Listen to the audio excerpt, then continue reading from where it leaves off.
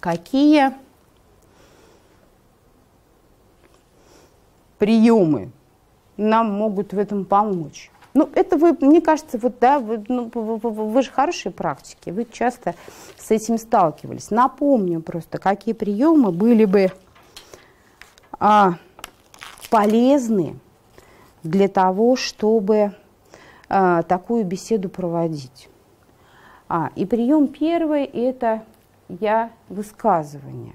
Да? Как только мы строим беседу по принципу «ты не справился», «ты плохо выполняешь свою работу», а, «твои показатели не соответствуют норме», мы моментально садимся в позицию карателя. Да?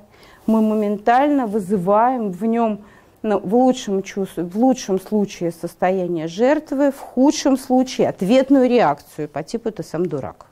Да?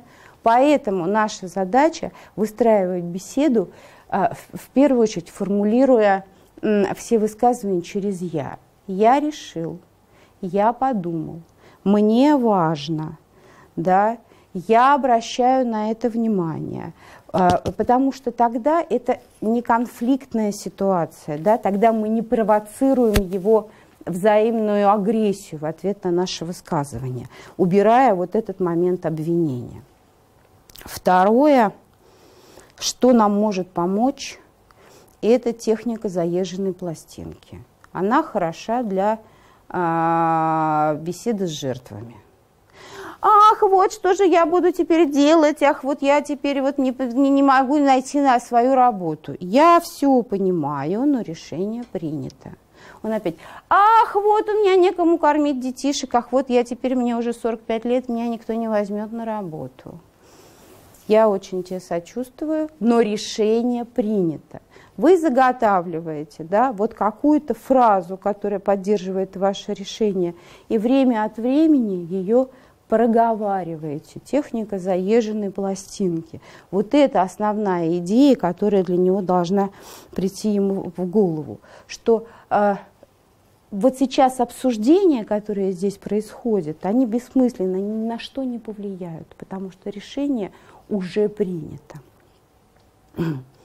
Иногда, э, если мы с вами нападая, попадаем на карателя, который вот прям активно проявляет агрессию, э, нам поможет техника внешнее согласие при агрессии.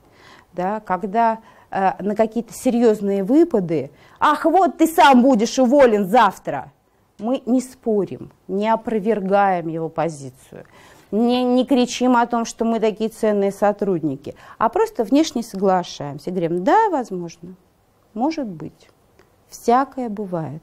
Да? Мы тем самым уходим от ну, просто от этого конфликтного разговора. Мы не сопротивляемся, не пытаемся его переубедить, а просто внешне демонстрируем ему согласие. Да, возможно, и со мной такое случится. Ах, вот, вообще эта фирма скоро загнется. Да, вероятно, такое случится. Угу. Да, просто вот отстранились, все, просто убрали.